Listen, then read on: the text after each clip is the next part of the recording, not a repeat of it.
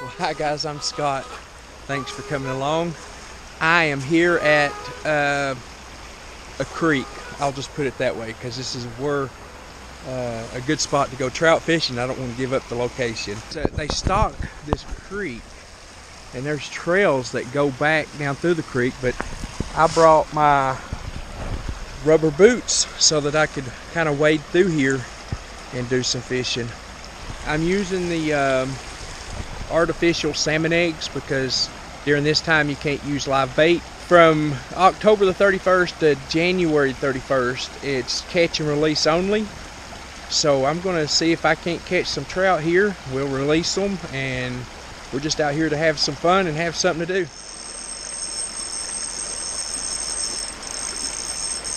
Huh, I got one on these artificial salmon eggs. He's putting up a fight.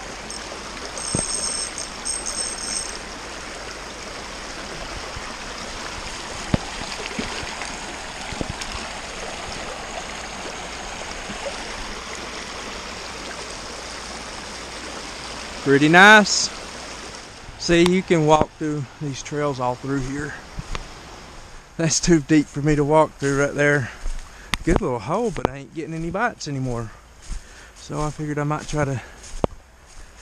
I got about right in here and had to turn around because it got too deep on me. Didn't want it to go over my boots and fill them up. Well, guys, this is pretty nice. I'm getting to get a hike in and do some fishing. Well, I don't know what this is like over there, but it looks like it goes across the creek, comes back. So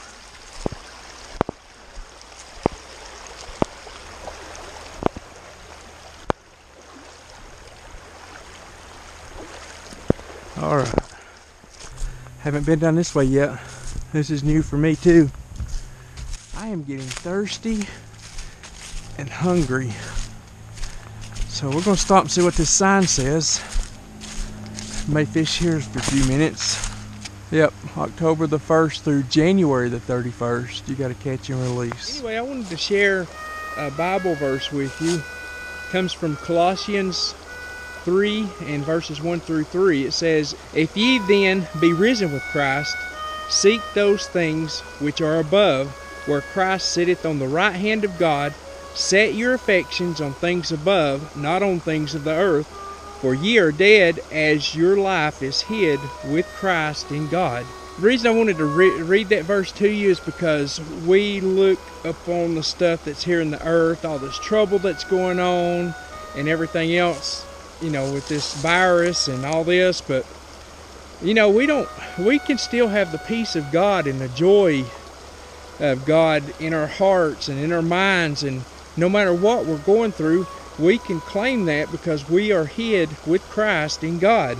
Now, a good example of this is in the book of Joshua, uh, chapter 14, and verse 7 through 12 Caleb is coming to Joshua and reminding him that Moses had, uh, it says, 40 years old was I when Moses, the servant of God, sent me from Kadesh, Kadesh Barnea to espy out the land and brought him word again as it were in mine heart. Nevertheless, my brethren that went up with me made the heart of people melt, but I wholly followed the Lord my God. And Moses sware on that day, saying, Surely the land whereon thy feet have trodden shall be thine inheritance, and thy children's forever, because thou hast wholly followed the Lord my God. So see, Joshua saw that he had a promise already from God. So he went ahead and said, I'm claiming it. Down down it says, Now therefore give me this mountain. He's claiming and taking what God promised him that he had. And we can do that with our joy and our peace in our life because we are dead and our life's hid with Christ in God. So I hope that brings you some encouragement today because, you know, with all this stuff going on in the world, we need to be setting our affections on high and looking toward Jesus, the author and finisher of our faith. The troubles and trials that we go through here are nothing compared to the glory that we're going to share in heaven. So I hope that brings encouragement to your heart today and we're going to get back out here and start fishing a little more.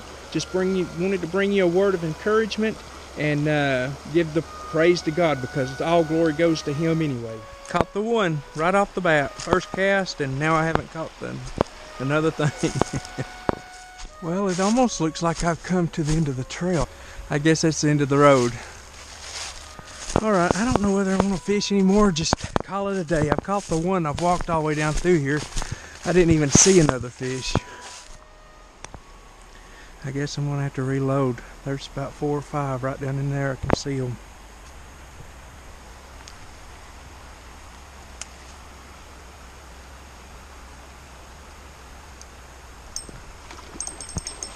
Got him. Look there. Oh, he got off. Ha! He got off. Oh well.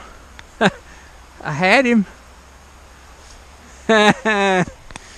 Found me a honey hole right here.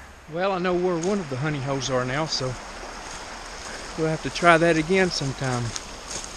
All right, let's get on back to the car. I'm gonna go ahead and end the video here. Until next time, this is Saline saying to always remember Matthew 5:13 and y'all stay salty.